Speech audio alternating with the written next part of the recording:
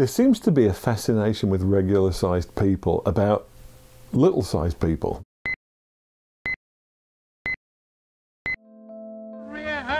Step this way, the strangest sights on the island. There's there there's legends and folklore um, about you know sort of small folk you know across the world, and it kind of got to a big focus in this country with the filming of of The Wizard of Oz. What people who live in this land. It's Munchkin Land, and you are their national heroine, my dear. They got together, you know, the, for the movie, they got together 60 or 70 um, circus performers. Tod Browning, uh, right after he filmed Dracula, um, decided that he would, you know, sort of plumb the depths of the circus sideshow. And it was his undoing, unfortunately. It was the last film that he did because people were actually appalled uh, that he would uh, focus a, a camera lens on people that were, in the words of the movie title, freaks.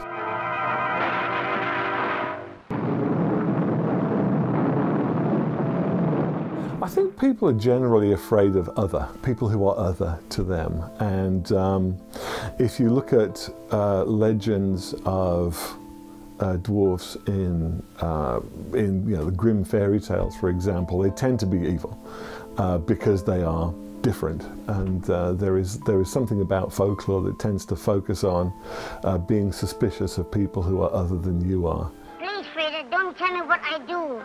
When I want a cigar, I smoke a cigar.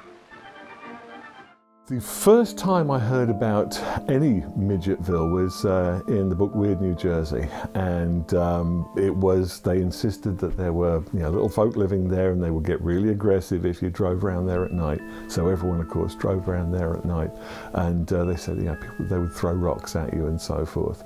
And I told some people locally, know, so there's this place in New Jersey, and they told me, yeah, it's not just in New Jersey. There's one around here too.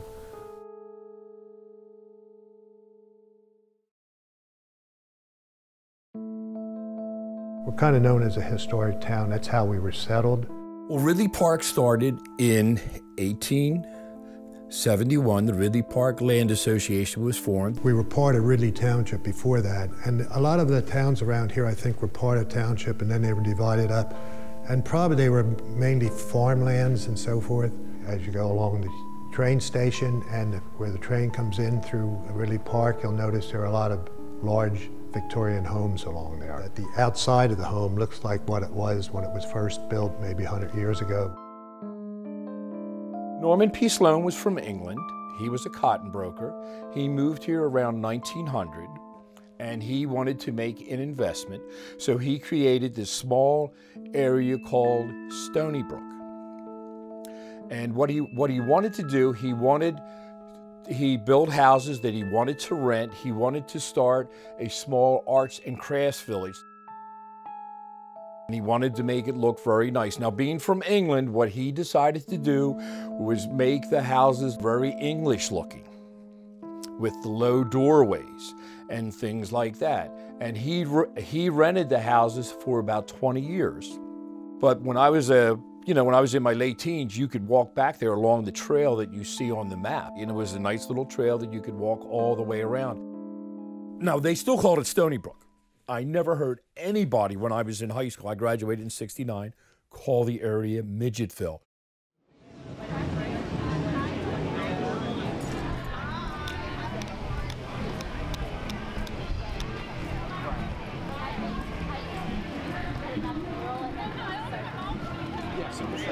Learned about Midgetville when I was started when I was like seven, eight years old. Every Christmas Eve, the whole family would meet at my grandmother's house. And every Christmas Eve, after a couple beers, my uncle would say, get in the car, we're going to Midgetville. And he would take me and four or five of my cousins, and we'd ride up there. And on the ride there, he would tell us about what's going to happen when we get there. Um, some people have said that it's actually like they just have really tiny houses with little doors. Um, some people said it doesn't look like that at, at, all. Some people have said like they've gone there and people have thrown rocks at them to get out and leave. Yeah, so some people say it's pretty like intense. But it's spooky and scary at night. It's dark. It's a dark street. It's no outlet, so you have to like go down, go all the way down and turn around and come back up. When I was a kid, my sister took us right on the other side of Chester Pike over there, and we went driving around. The houses were tiny, but apparently all the tiny people had moved out. And every year we look forward to it. And I still tell my nieces and nephews and neighbors, anybody that come across about it. Ridley Park is the kind of place that fosters stories like this. For a story to take hold, it's helpful if there's three or four generations of the same family living in the same place. An example, when I first ran for mayor 19 years ago, and I'm knocking on doors, and at that point in time I was in Ridley Park for about 30, 35 years, and I would say I'm an old-time resident, and this guy would look at me and say, you've only been here 30 years? I've been here 70 or 60 or that kind of thing. Yeah, everybody kind of knows about it. Everyone's got some relative that's done it. I think even when I was in Sharon Hill, we heard about it and uh, you would hear about the midgets.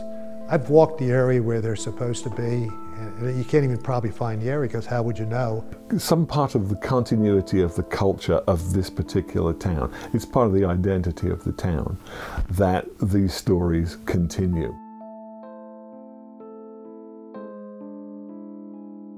So I thought one time of writing about Midgetville just because it is an urban legend and a lore and people are always asking and it's kind of connected to our town.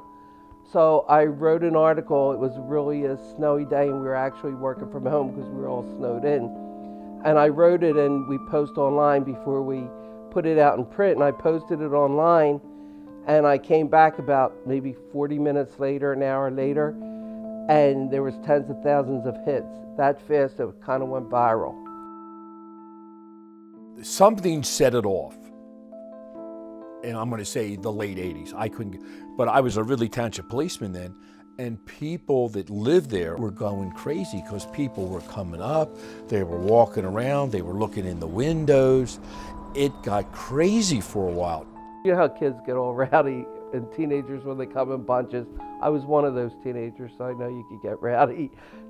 There is some truth that there was, in fact, one of the Munchkins that did live in this area at one point. He was the he was the coroner. He was the one that declared the Wicked Witch really most sincerely dead. He uh, he was kind of a bit of a huckster. Yeah, he'd try and make a bit of money here, a bit of money there.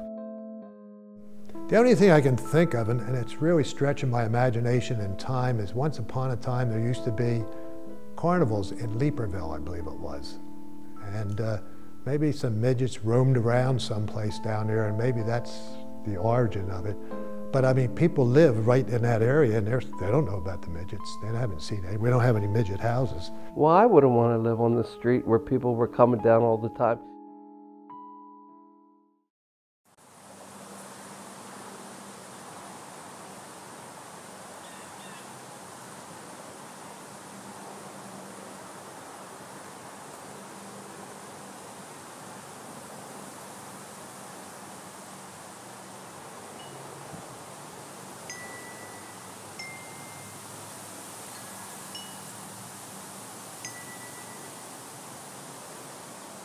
We moved in uh, in April three years ago, so it'd be 2013. I mean, everybody knows about the legend of Midgetville. Um, our sons, who are all in their 20s now, all three sets of friends, one time or another, ended up here only to be disappointed. It's a rite of passage if you're a, a teenager in Delaware County, especially in this area of Delaware County. How often? It can happen at any time. More often than not, Fridays through Sundays.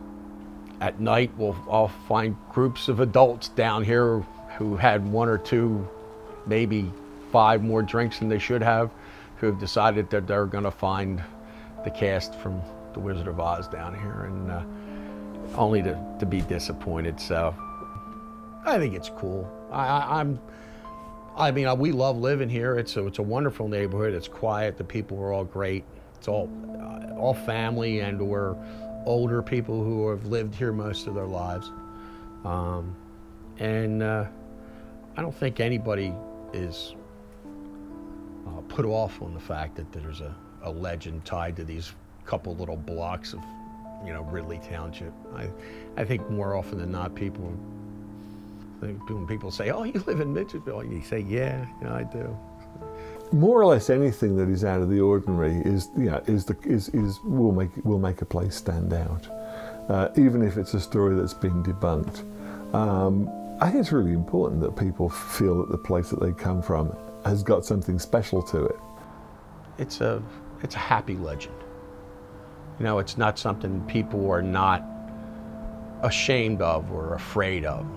Everybody knows about Midgetville. Everybody's they drugged their kids here, or they've drugged their kids back from here, or you know, I walked through here when I had too many beers, or just I took a walk back there in the fall because the, the, the trees were fall, the leaves were falling from the trees, and the houses were decorated for Halloween, and it kind of gave me a little feel of what I should have, what I felt 50 years ago when I was a kid waiting for Halloween to show up. So, if anything else, it's a, it's a really good thing.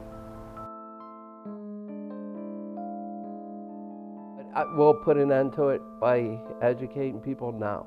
Because people love things like that. They love mysteries, they love anything that is silly or like just something that'll never be solved or you know how many urban legends there are. People just like it. It's just one of those things that, you know, sometimes it's like people see ghosts and nobody else sees them. The reason that people still talk about it now is because um, whether it's an untrue story or not, it's a great story. Don't let the facts get in the way of a good bit of folklore.